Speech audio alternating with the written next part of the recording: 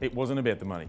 It was about the thrill of, of putting something together, um, which I controlled. Yeah, it was somebody that owned something, somebody wanted to buy something, and I was able to put the two together. Um, yeah, I was able to earn some money off it, but being able to do that over and over again with different people was the thrill for me. And that really, and that really said it, that this was going to be my career, you know, forever.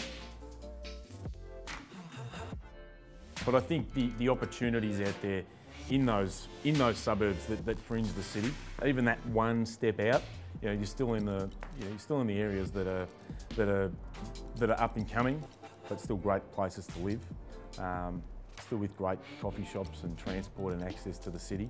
You know, so maybe looking into those suburbs to develop, which would create better price points, more affordable price points for the you know for that first time, second time buyer. Um, I think that's probably where the opportunity lies for the developer.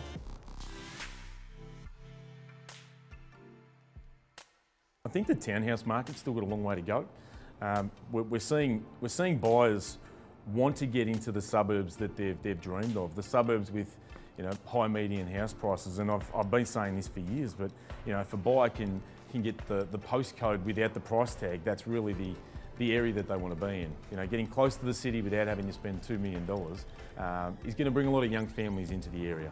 It's going to bring, you know, new babies into the area. It's going to, going to increase the, um, the look and the feel of the suburbs. It's going to gentrify a lot of the suburbs that are close to the city that haven't yet really hit their straps. Um, you know, we're finding that in the inner west at the moment.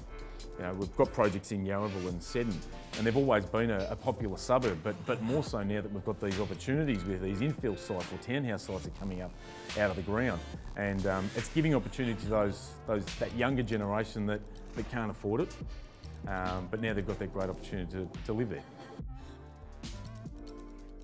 Well, I think it's I think it's branding, the look, the feel, the renders.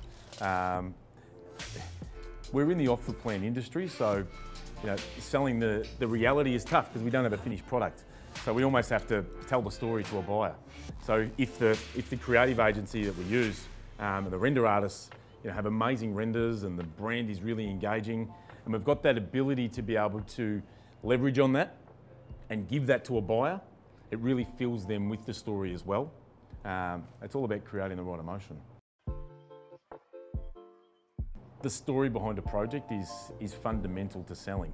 If we don't have exceptional renders, if we don't have an amazing brand look and feel, if we don't have that ability to be able to tell that story to a buyer, um, you know, we will lose them.